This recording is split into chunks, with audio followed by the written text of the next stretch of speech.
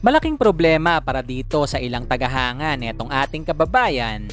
Wala nang kalahating buwan bago maganap etong nalalapit na malalaking laban ng Pilipinas. Yan eh matapos mong ilike ang video na ito, mag-subscribe sa ating channel at pakidamay na rin ang ating opisyal Facebook page. Pero bago natin simulan, eh, alam mo bang isa ang 1xBet sa mga leading betting company sa buong mundo?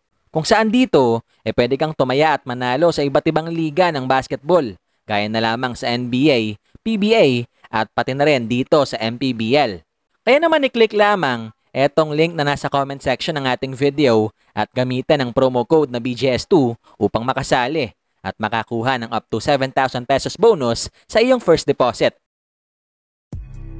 Ilang araw nga matapos tong naganap na China trip ng Gilas mga bolero, eh alam naman natin na maliban dito sa dissenting performance na naipakita ng mga bata ni Shot Matapos silang makapagtala ng tatlong panalo sa kanilang naganap na apat na laban, eh marami ring Pinoy fans ang humanga dito sa sipag na ipinakita ng isa sa mga former teammate ni Soto na si AJ Edu.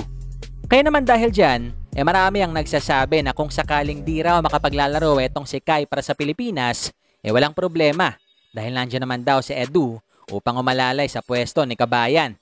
Pero sa isang panayam, eh ayon mismo sa kanya, eh may malaking factor pa rin daw kung sakaling makasasali etong si Soto sa papalapit na malalaking laban ng Pilipinas.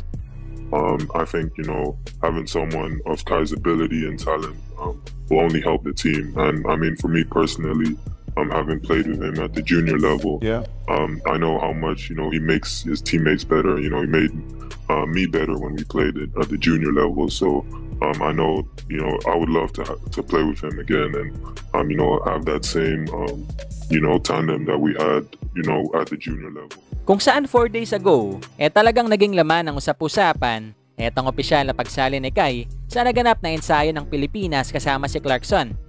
Especially na alam nating bago lumipad patungo sa China, etong mga bata ni Chot, eh kahit bahagyang nakapupunta sa practice etong si Soto, eh bigo naman siyang makasali sa mga drills. Pero ngayon, na medyo mas maayos na, etong kalagayan ng likod ni Kai, eh malaking tanong pa rin para sa marami kung makapaglalaro ba talaga si Soto saan nalalapit na malalaking laban ng bansa. Especially na dito sa isang panayam kay Chot last week, eh may malaking binitawan si Reyes na siguradong nag-iwan ng tanong para sa mga tagahanga ni Kai.